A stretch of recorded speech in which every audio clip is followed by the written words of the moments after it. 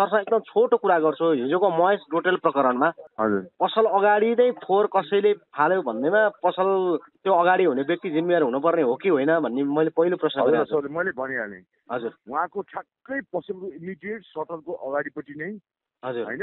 अगाडिपट्टि त्यो पेटी झन्डै दुई फिट ढाई फिटको होला त्योभन्दा बढी छैन।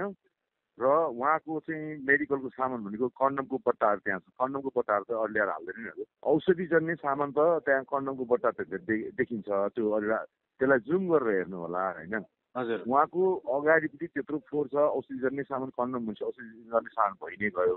अब योभन्दा बढी चाहिँ अब मैले के भन्नु त्यो त ठिक छ। चाउचाउको चाउचाउको प्याकेटहरू चुरोटको बट्टाहरू त्यस्तो कुरा पनि रहेछ नम्बर एक।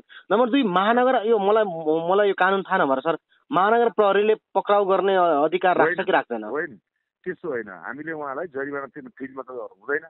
फिल्डमा त हाम्रोमा चाहिँ जरिवाना लिएर हिँड्दैन। त्यसै पब्लिकमा भिड भएको बेलामा चाहिँ जरिमाना तिर्यो भने डिस्कस गरेको उहाँले जरिमाना तिर्न हिँड्नुहोस् भनेर उहाँलाई सँगै लिएर गएको। कार्यालयमा गएर जरिमाना तिर्नु हो त्यहाँ निस्किनु भयो पक्राउ गरे भने तपाईँहरूले खासमा तपाईँहरूले त्यहाँ चिठी दिएर आउने व्यवस्था हो कि पुर्जी दिएर आउने व्यवस्था हो कि लिएरै जाने?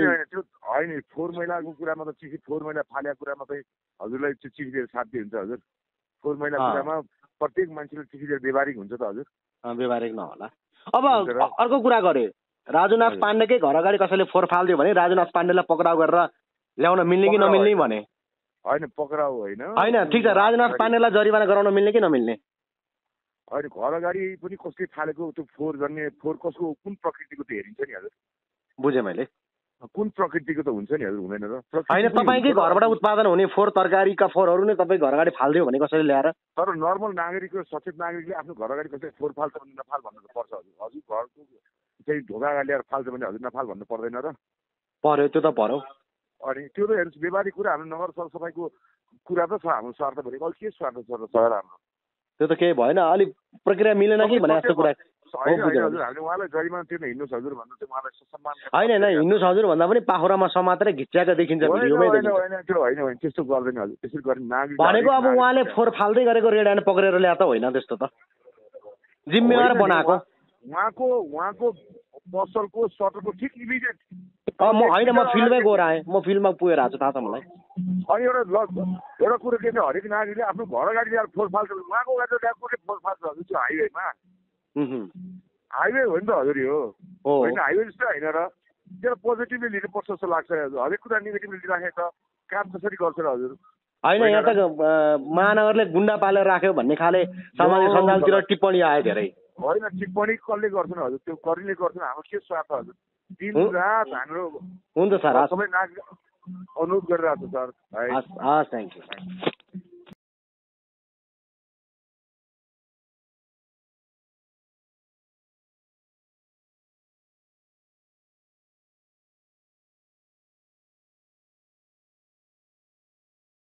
तपाईँलाई यो नयाँ बजारबाट फोहोर फालेको भन्दै पक्राउ गरेर लिएर गयो जरिवाना गरायो भन्ने सुन्यो।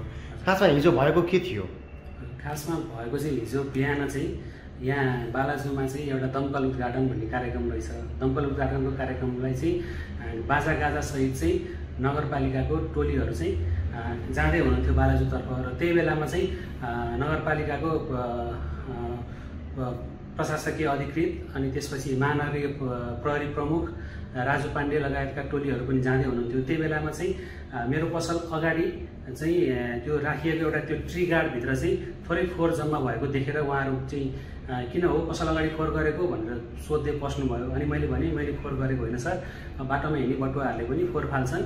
र त्यहाँबाट चाहिँ मैले सफा गर्न खोज्दा खोज्दै पनि झिक्न पनि नसकिने त्यो हुनाले फोहोर जम्मा भएर बसेको हो सर भन्ने खाले मैले कुरा गरेँ। त्यसपछि उहाँहरूले चाहिँ होइन पसल अगाडि फोहोर फाल्ने तपाईँको जिम्मेवार हुनुपर्छ भन्ने हो अनि मैले भने सर मेरो पसलबाट निस्किने फोहोर भनेका औषधिका बट्टाहरू होलान् औषधिका सिसीहरू होलान् औषधिका पत्ता होलान् तर त्यहाँ त चुरोटका ठुटाहरू छन् चुरोटका बट्टा छन् अब चिजबलका खोलहरू छन् त्यो चाहिँ कसरी मैले फालेको हुनसक्छ? मेरो पसलबाट निस्किने फोहोर त त्यो होइन भनेर मैले भन्दाखेरि उहाँले चाहिँ नगर प्रहरीलाई चाहिँ ठाडो आदेश दिएर उहाँलाई चाहिँ पक्राउ गरेर चाहिँ कार्यालयमा लिएर आउनु भन्ने ठाडो आदेश दिएर उहाँहरू जानुभयो। ठाडो आदेश कसले कसलाई दियो? ठाडो आदेश चाहिँ हाम्रो महानगरीय प्रहरी प्रमुख राजु पाण्डेले वाकिटकी मार्फत आफ्नो महानगर प्रहरीहरूलाई भन्नुभयो र महानगर प्रहरी पाँच सातजना आएर चाहिँ तपाईँ जानु पऱ्यो कार्यालय भन्नुभयो। मैले मेरो बिरामीहरू छन् मैले औषध दिँदैछु मेरो कोही मान्छे बोलाएर मैले यहाँ सम्बन्धित व्यक्तिलाई राखेर जानुपर्छ बिरामीहरूलाई अलपत्र पारेर जानु हुँदैन भन्दाखेरि तपाईँ सोझो रूपले जानुहुन्छ कि हामीले चाहिँ जबरजस्ती गरेर लैजाउँ भनेर भन्नुभयो। र मैले एकछिन पाँच मिनट पूर्ण आग्रह गर्दा पनि मेरो सम्बन्धित व्यक्ति नआइपुग्दै उहाँहरूले मलाई चाहिँ अम, हिच्याएर चाहिँ लगेर गाडीमा हालेर टेकुमा चाहिँ फोहोर मैलाको अफिसमा लिएर जानुभयो। र त्यहाँ मलाई घन्टौँसम्म पुर्याइयो र यस्तो जबरजस्ती गरियो कि मैले जरिवाना नतिरिकन चाहिँ त्यहाँबाट छोड्नै नसक्ने अवस्था भयो म काममा जानुपर्छ मेरो काम छोडेर आएको छु भन्दा पनि होइन। जरिवाना तिर्नुहुन्छ भने तिर्नुहोस् नत्र भने तपाईँलाई चाहिँ प्रहरी कारवाही गरिन्छ।